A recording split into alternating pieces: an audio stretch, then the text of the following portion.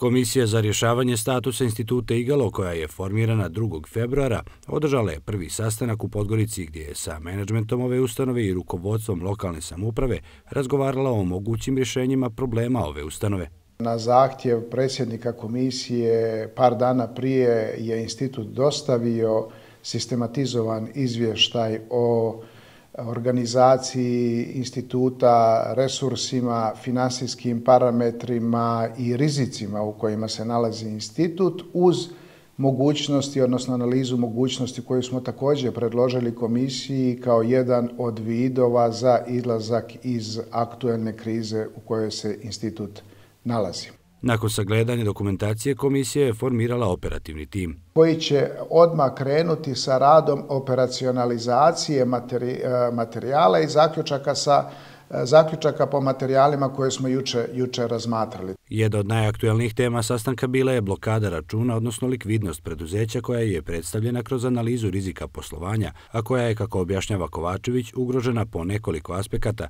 što koči isplatu zarada zaposlenima i nabavku potrebnih roba i materijala za normalno funkcionisanje ustanove. Pod broj 1 odnosi se na tužbu Jugobanke, koja je, nažalost, iako postoji dogovor između dvije države, izvršenje prema institutu Igalo kao povjeriocu, te je po tom osnovu izvršena blokada računa. Dalje, ovaj, značajan iznos imamo blokade računa po osnovu tužbi zaposlenih instituta na osnovu e, različito isplaćenih koeficijenata u odnosu na kolektivni ugovor u javnom zdravstvu. Dobavljači dostavljaju robu na određeno vrijeme, a sigurnost u isplati dugovanja uliva im uključenost vlade u rješavanje problema instituta, dok zaposleni za sada pokazuju strpljenje u kontekstu isplate za ostalih zarada, istakao je Kovačević i dodao da se uvećane cijene instituta prema Fondu zdravstva u visini od 10% obračunavaju od 5. februara.